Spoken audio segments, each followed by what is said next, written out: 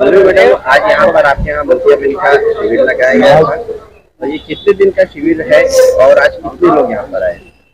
ये आज एक ही दिन का कैंप लगाया है हमने। सुबह दस बजे शुरू हुआ था। आज जुम्मा होने के बावजूद यहाँ पर 100 से 120 लोग सुबह से यहाँ पर रजिस्ट्रेशन हो गया उनका। और अभी मिनिमम 65 अराउंड पेशेंट है, जिनका मोतीबिंदु का ऑपरेशन होने वाला है।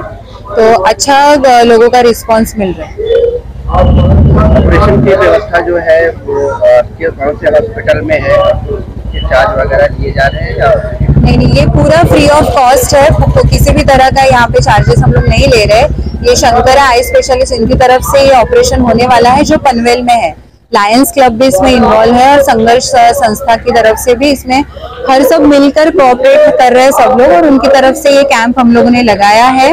तो आने आज अभी रमज़ान का महीना होने की वजह से हमें ऐसे लग रहा है कि लोगों की ऐसी मांगनी है कि आप आज रमज़ान के महीने के बाद भी यहाँ पर ये कैंप ले।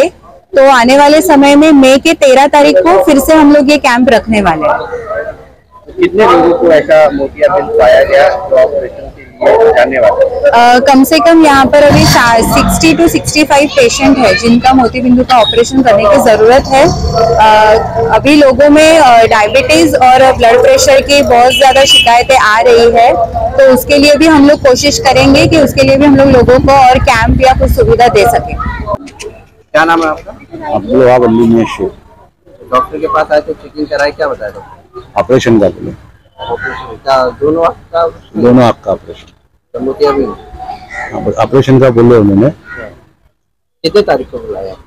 आज ही बुलाए आज लेके जाएँगे साथ में। है। अभी आज लेके हाँ आज लेके जाएँगे। आज ही टेस्ट करवाया और आज ही लेके जाएँगे। और ऑपरेशन कब होगा? शायद कल करवाएँगे। क्या कुछ पैसे वैसे ले रहे हैं नहीं नहीं कुछ नहीं कुछ एक रुपया नहीं। है